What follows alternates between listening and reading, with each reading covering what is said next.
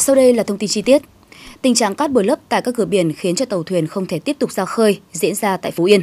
Vào sáng ngày hôm nay, ngày 8 Tết, khoảng 70 tàu câu cá ngừ đại dương của thành phố Tuy Hòa, tỉnh Phú Yên ra khơi mở biển vụ đánh bắt mới. Tuy nhiên, ngay sau khi ra cửa, hầu hết các tàu cá đều mắc cạn, ngư dân phải hỗ trợ nhau cứu kéo.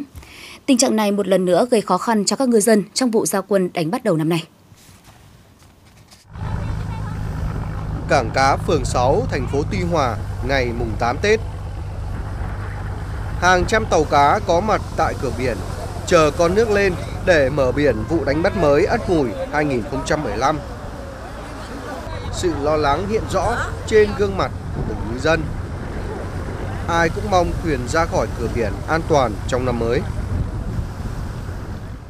do cửa nó càng quá càng cho nên ghi đi ra không có được. Giờ phải chạy vô dùng rô hay là an ninh mới lấy tốn được. Dạ.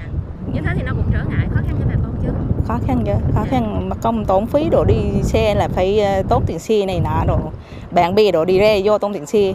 Dạ. à, khó khăn cho cái chủ ngư dân. Khi nào đủ nước mới đi lần nước lớn đủ ra được ra còn ra không được thâu cửa cạn dạ. À. Bây giờ là cửa cạn này bà con lấy tổn đồ sao? Lấy tổn là chị không vô dùng lô lấy. Dạ như thế thì nó cũng à. trở ngại chứ. Ờ, à, trở ngại quá nhiều.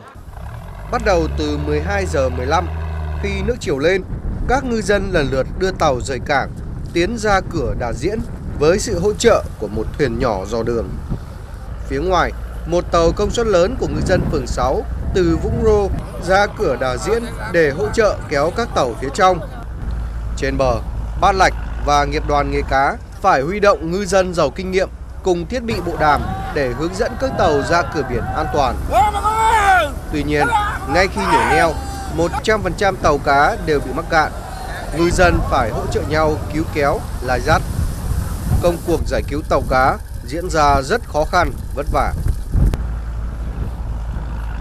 còn mấy trăm chiếc kia bốn trăm mấy kia là ở trong này là chưa có đeo được. thì trước mắt là ban lạch bây giờ chỉ làm cái tổng đài để hướng dẫn bà con hay chỗ nào mình biết chỗ nó sâu thì mình nói cho anh em đi đợi lên đi ra coi. Để đi ra cho còn chưa có được đi cạn cũng lắm chưa có gì đó. Sau hơn một tiếng đồng hồ chỉ có 6 tàu ra cửa biển an toàn. Thời điểm này khi nước chiều có dấu hiệu đứng hơn 60 tàu dự định xuất bến trong ngày hôm nay vẫn chưa thể ra khơi Bây giờ ở đây thì nói chung là tôi là đại diện cho bà con ngư dân cả hai làng hết chứ không riêng gì nó một làng. Tức là tôi sẽ yêu cầu nhà nước kiến nghị lên nhà nước làm sao khẳng bách. Tức là cũng như là mình chữa lửa tức là mình sẽ nạo cái nó vắt cái cái luồng lạch để cho bà con ra vô là để đi đánh bắt. Rồi sau này rồi nói chuyện là nạo vét ờ, như thế nào tính sau nữa. Chứ hiện giờ bà con là coi như đang trong mang tức là đi ra khỏi biển là là là lấy tổn ra khỏi biển là tốt tốt hơn hết.